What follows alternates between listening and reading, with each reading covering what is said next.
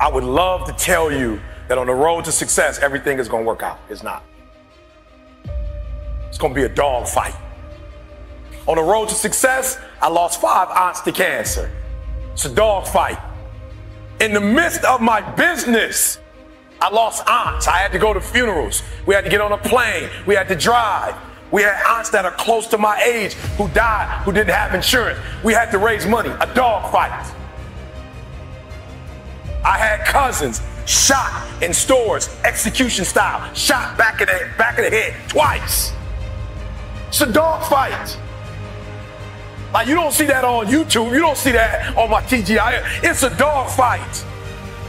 My wife, three years ago, seven lesions following her brain. It's a dog fight. It hasn't been easy. It's a dog fight. It hadn't been, the road hadn't been success. Like it's just a paved road and like each he go this way. It's been rough. It's been crooked. It's been hard. But I've made up in my mind that I will get a reward for the pain that I go through. I will not stop in the middle of the process. I will not be defeated. I will not be destroyed. I will take everything that happens in my life and I will allow the pain to push me to greatness. You will not break me. You will not stop me. You will not defeat me. The only way I lose is if I quit. It's going to be a dogfight. And so if you're ready to quit, then don't get started. If you're ready to quit, don't get started. If you're looking for this easy path, don't get started. If you think they're not going to close the door on you and say no a million times, don't get started. But every time they close the door, I just get excited. Why? Because I am not a no. I'm one yes away. I'm young, I'm one yes away. You can't keep telling me no forever. You can't keep denying me forever. This type of energy, this type of passion. You can't stop it. You can contain it for a while. But you cannot stop. This is life. And you can't defeat me. There, there is not, you don't have enough power. You don't have enough energy. You don't have enough strength to stop this. Contain it for a year, you might. Two years, you might. You do not have hate, does not have enough energy to destroy love. You cannot destroy this. It did happen to me at 19. It did happen to me at 20. It did happen to me at 30. It happened to me at 40. After I had been through all the, all the pressure I thought I could go through. Life said, you finished with all the pressure? I said, yeah. I said, let's bring on the heat. Then when I went through the pressure and the heat, y'all, I thought it was over. The creator said, now you ready to get cut?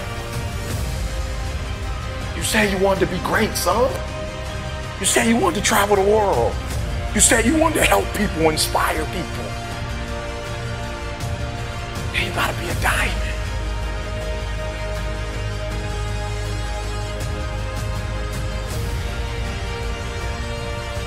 In our armed forces, let's just pick one, the Navy, for instance. The first thing they teach you, somebody, somebody over here, help me out. You are in the Navy right? You're going, they're teaching you war, right? What's the first thing they teach you?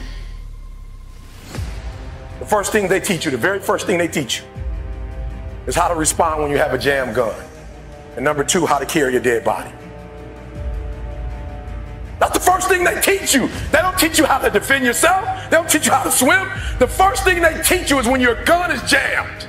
The first thing they teach you is uh, a dead body, how to carry a dead body. And somebody tell me, why would they start you there? That's the worst case scenario. That's what you're not prepared for. That's what you're not thinking. You're not thinking when you go out there to defend yourself that your gun is gonna jam.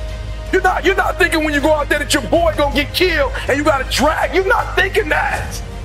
So listen, Julie, it's not, it's not hardships that hurt us.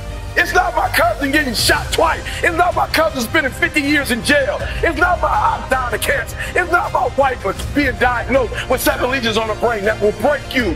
What will break most people that you didn't prepare for that? So when you put all your little goals and all your little dreams together, it's not the thing that broke you that broke you. It was you never even thought about the fact that you could be broken. They say it's gonna be a dog fight. And if you soft, this ain't that you want to get out now. This is where he was like, I quit. But if you're willing to say, I'm not going to quit, I guarantee you whatever success you want to have, you're going to have it. You will not outgrind me. You won't outgrind me. You can be smarter than me. You won't outgrind me. I get up at three o'clock in the morning and do videos. I'll do a video at three o'clock. I'll do a video at two o'clock. I'll do, I'm putting out so much doggone content. They can't keep up. They smarter than me. They better than me. I, I admit, I got a GED. I ain't the smartest person in the world, but I get up and do this for Dee. I do this every day for Dee Dee because of what Dee Dee did for me. I do this for my kids. My daddy wasn't there. I do this for my family. You can't stop me. The reason why some of you can be stopped is you're doing it for yourself. Of all the stuff I've gone through in my life, eating out of trash cans, sleeping in abandoned buildings, the worst thing that ever happened is when I went to the hospital and they told me my wife had a chronic illness and she might not be able to walk one day. People say ET, ask CJ. It never broke me. Why? Because I've been broken so much. Defeated so much. I've been disappointed so much in my life But I know what it feels like and I can handle it.